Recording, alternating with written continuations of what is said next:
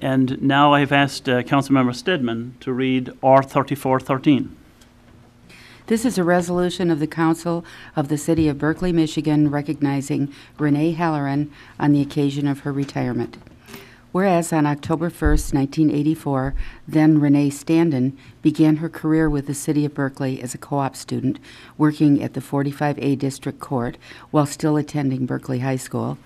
And whereas Renee was then hired full-time on August 25th, 1986, to be the building clerk in the Department of Community Development, Planning, and Research. At the time, this department had six full-time employees.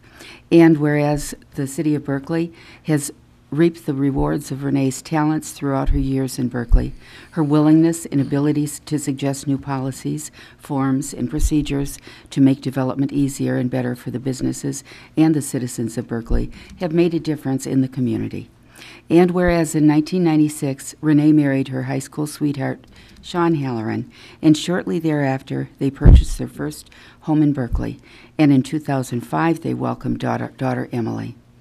And whereas Renee's laughter, as well as her caustic wit, will be missed at City Hall, Renee's remarkable ability to remember an address along with any past construction history, as well as a physical description of the occupant, was very useful and weird and wonderful.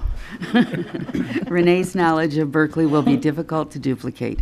Now therefore, the City of Berkley resolves, Section 1, that in the spirit of recognition of service to the City of Berkley, the Council of the City of Berkley hereby recognizes and honors Renee Halloran on the ca- occasion of her much-deserved retirement, and City Council, on behalf of all residents and employees, expresses their sincere congratulations to Renee and her husband Sean as they find more time together with their daughter Emily.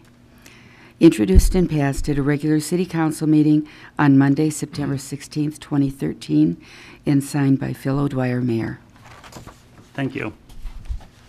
Very nice.